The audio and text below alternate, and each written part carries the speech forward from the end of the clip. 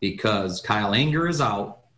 I'm sure he didn't get the assistance that the juvenile system would have provided. Kyle Anger, the oldest of five boys charged in the deadly I 75 Clio rock throwing case, will be released on parole this week. That's according to sources from attorney Mike Manley. Anger was convicted of throwing the rock that killed 32 year old Kenneth White in 2017. The other teens charged in the case, Mark Sekelsky, Mikadyn Payne, Trevor Gray, and Alexander Miller, are still waiting for their sentences.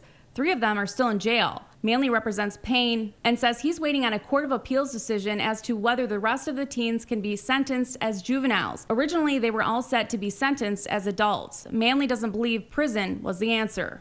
Because the whole statute is what is the best sentence for the child and what is the best sentence for the community. And our argument was when you send a child in their formidable years to learn their habits in a state prison, they don't come back better. Manley says they've been waiting on a decision since October. He says the juvenile system would be the better option for the teens because it provides resources to help them reform. He doesn't believe prison provides the best help for people that will re enter society. Manley says he's hopeful the decision will be made soon.